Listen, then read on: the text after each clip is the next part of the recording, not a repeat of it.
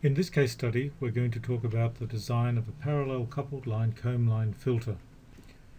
What is shown here on the left is a comb line structure. These are three microstrip lines, we would call them resonators, that are in parallel. So we're looking at the layout view here, we're looking down on top of it, and on the top is the schematic. We have combined a layout view with a schematic view. And this is the filter design that we're going to end up with. These resonators are lambda on 8 long, and the filter response that we're going to obtain, this is the simulated filter response that we obtain, is shown on the right here. So really quite a remarkable response from so few elements. The purple trace here, that's this trace here, is S21. It definitely shows a bandpass response centered at 1 gigahertz. We also see that S11 drops tremendously in the middle of the band, so it is well matched. So if we drive our filter with a 50 ohm input with a 50 ohm load in the center of the band, we're going to have ideal matching. And the matching isn't just at a single point, it's over a broad bandwidth, over 10% bandwidth. One of the anomalies that we see here is this S21 response. And we're going to describe where that comes from as well. That is not something that we designed into this filter, but it is a characteristic that we can use if we want to. Here are our specifications. We're going to design a bandpass filter with a center frequency of 1 gigahertz, a 10% bandwidth, and we want steep filter skirts. Determining what we want here is a matter of iteration. Now, if we know that our requirement is for a steep filter skirt, that indicates that we want a Chebyshev type response, so that there will be ripples in the pass band and we will have the fastest transition from the pass band to the stop band.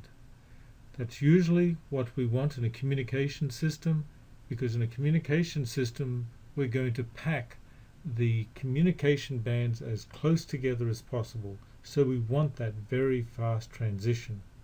We will however have to live with the ripples that appear inside the passband. But as we will see, with even a little bit of loss, those ripples quickly go away. We will obtain steeper filter skirts if we use a higher order filter and if we use larger ripple. So we're not going to go into how we decide on the amount of ripple we want.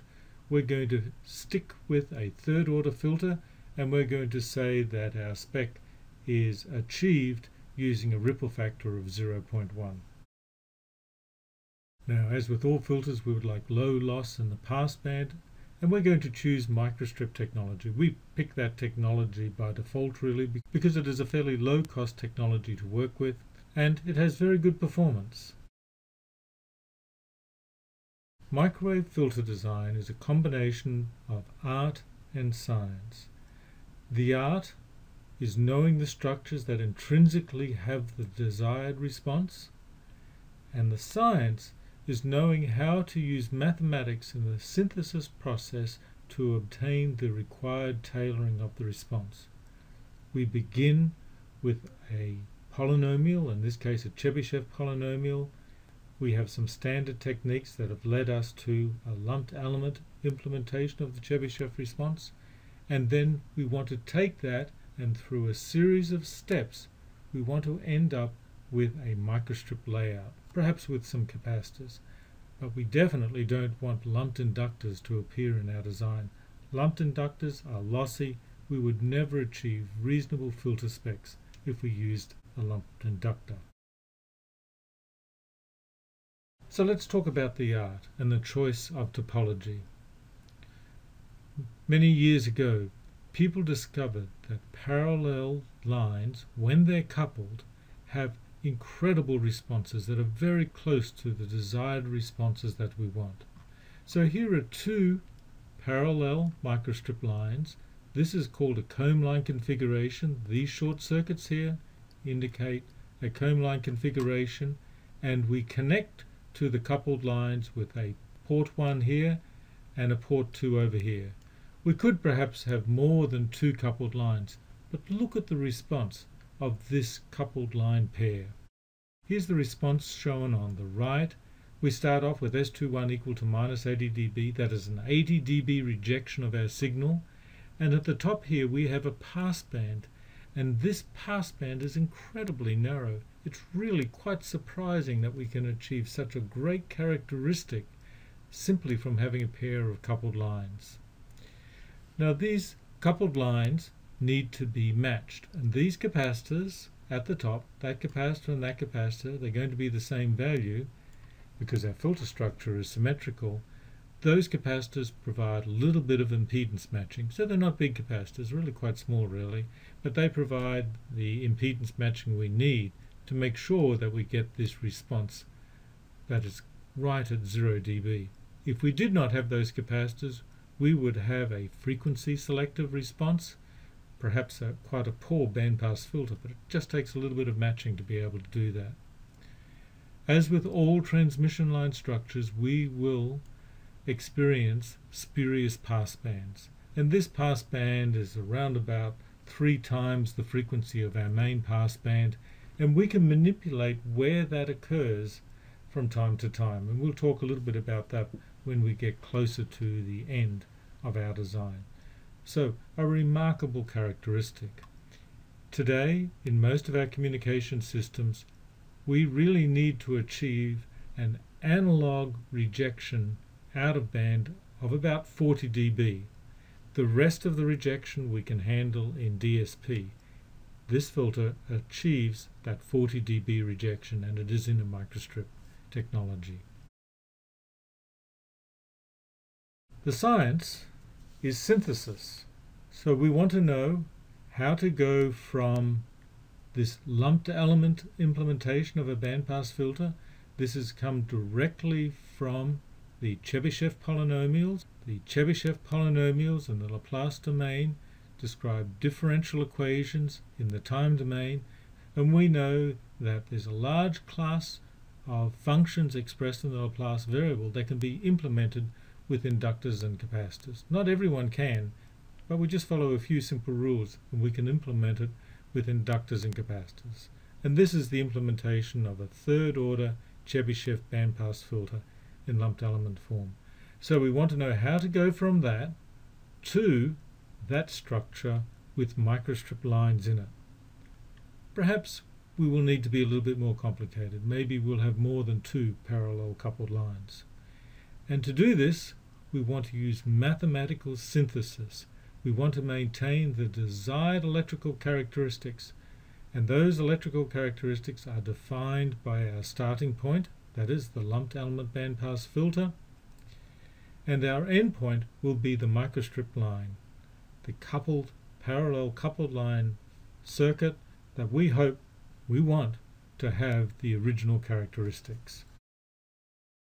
Now optimization is an alternative to synthesis and even in the design that we're talking about in this case study we're following a methodical synthesis approach.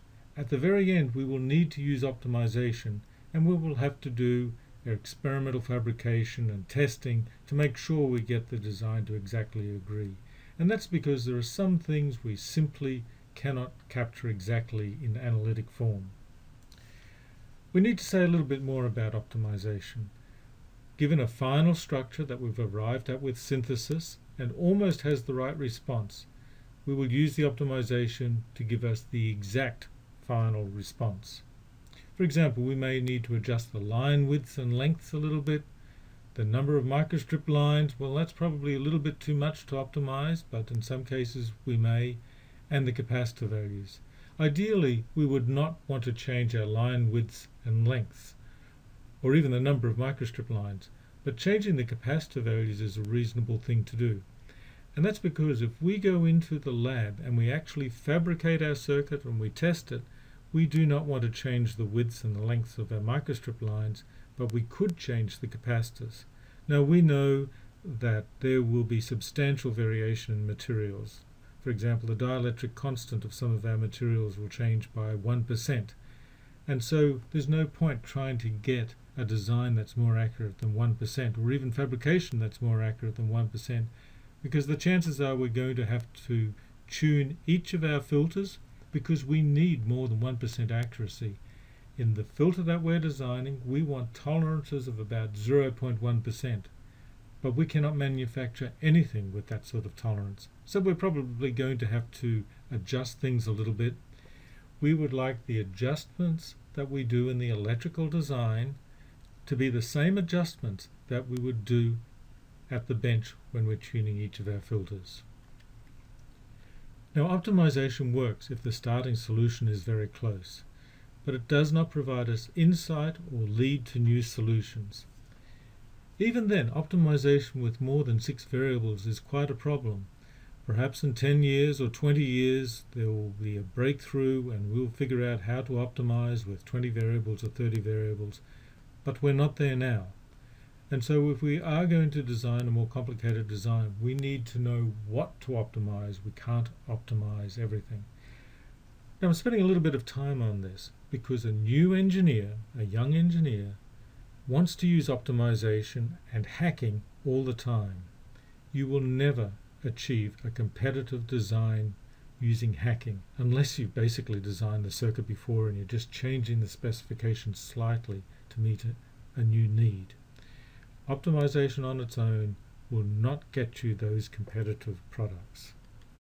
So in summary, filter design, as with most RF design, is a combination of art and science, but this is especially true with microwave design. The art being that we have to know a topology, and the science being we need to know how to go from a mathematical description to the physical implementation. The art is identifying the structures that intrinsically have the desired response, and the science is developing the mathematical procedure to go from the mathematical specification of the desired response to the final microstrip realization.